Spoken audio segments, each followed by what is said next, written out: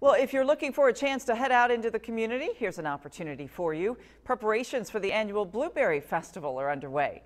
The event is put on by Terre Foods in Terre Haute.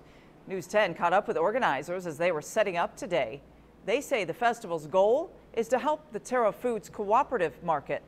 Leaders hope to eventually open a co-op grocery store in downtown Terre Haute.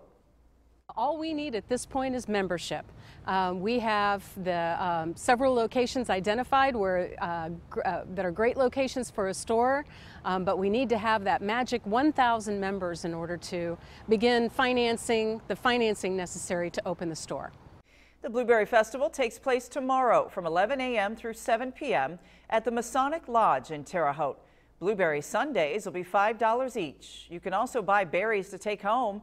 We have more information on this event on our website, WTHITV.com.